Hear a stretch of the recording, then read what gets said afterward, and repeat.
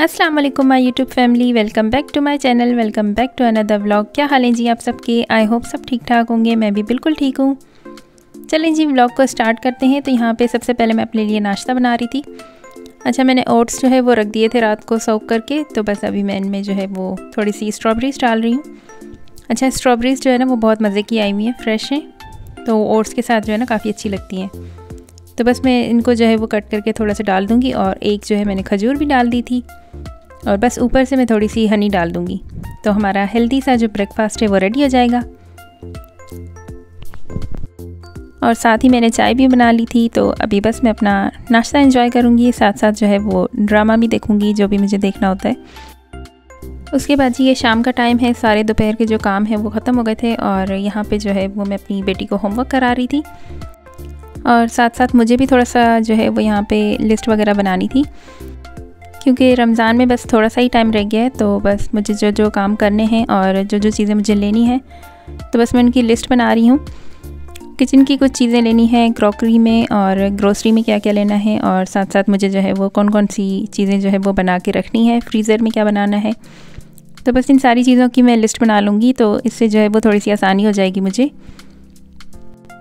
अच्छा आप लोगों में से काफ़ी सारे लोगों ने जो है वो अभी से मतलब तैयारी जो है वो कर दी है। काफ़ी सारे लोगों ने जो है वो फ्रीज़र की जो जो चीज़ें उन्होंने बनानी होती हैं, चटनियाँ वगैरह और समोसे, रोल, काफ़ी लोगों ने जो है वो पहले से ही तैयारी कर ली है।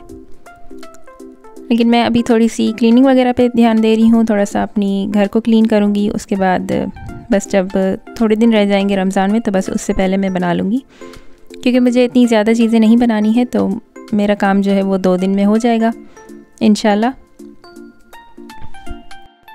अच्छा आप लोग बताइएगा कि आप लोगों में से किस किस ने जो है वो रमज़ान शरीफ जो है वो तैयारी शुरू कर दी है, या किस किस ने जो है वो तैयारी पूरी कर भी दी है?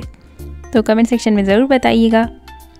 अच्छा यहाँ पे मैं अपनी लिस्ट में जो जो चीज़ें मुझे करनी है वो मैं लिखती जा रही थी।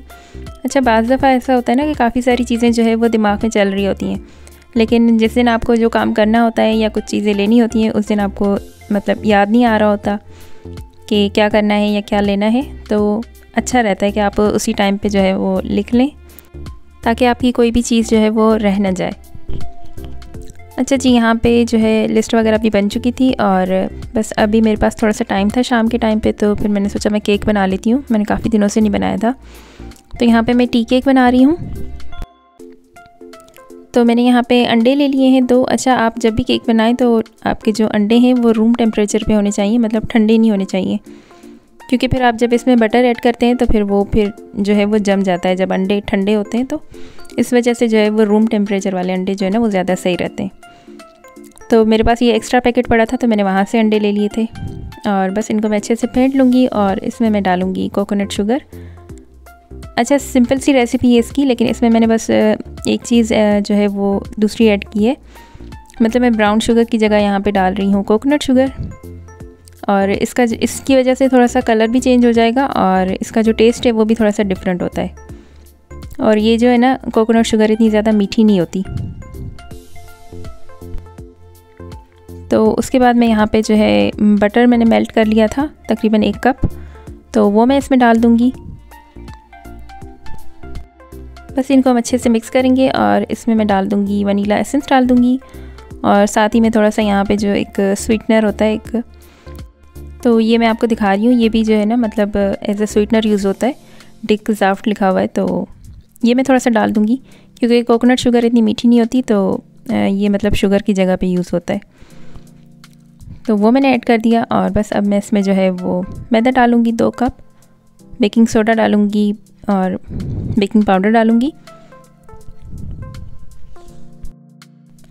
बस इसको अच्छे से मिक्स करेंगे और उसके बाद मैं इसमें एक और चीज़ जो है वो ऐड करूँगी। यहाँ पे मैं ऐड करूँगी थोड़ी सी सिनेमन अच्छा सिनेमन से जो है ना वो केक का टेस्ट बहुत अच्छा आता है। तो वो भी मैंने ऐड कर दी थी और साथ ही मैं थोड़ा सा मिल्क ऐड करूँगी।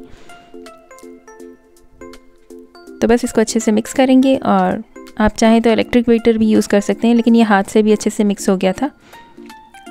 अच्छा जी, यहाँ पे मैंने इसको बेकिंग ट्रे को जो है वो अच्छे से ग्रीस कर लिया था और ओवन को भी जो मैंने प्री हीट कर लिया था। और बस अब मैं इसको बेक होने के लिए रख दूँगी और ये तकरीबन 45 मिनट्स में जो है वो रेडी हो जाएगा। तो ये देखें जी, हमारा केक जो है वो बिल्कुल रेडी हो गया था और मैंने इसको थोड़ी देर ठंडा किया था और बस अब मैं इसको जो है वो पीसेस में कट कर दूँगी। ये देखिए जी, इसका इस तरह से कलर आया था। अच्छा मुझे जो है ना बेकिंग करना अच्छा लगता है और मुझे जो इस तरह के केक जो है ना, वो चाय के साथ अच्छे लगते हैं। हस्बैंड को भी अच्छे लगते हैं तो बस मैं ट्राई करती रहती हूँ। तो बस केक रेडी हो गया था।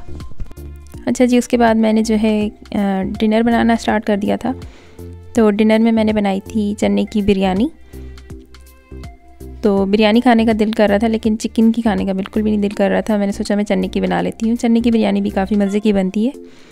तो यहाँ पे बिरयानी मेरी बिल्कुल रेडी हो चुकी थी, उसको दम आ चुका था। और बस इसको हम अच्छे से मिक्स करेंगे। और फिर हम लोग अपना डिनर इन्जॉय करेंगे। तो बस जी, आज की वीडियो यहीं तक की थी। आज का ब्लॉग यहीं तक का था। आई होप आप लोगों को अच्छा लगा होगा।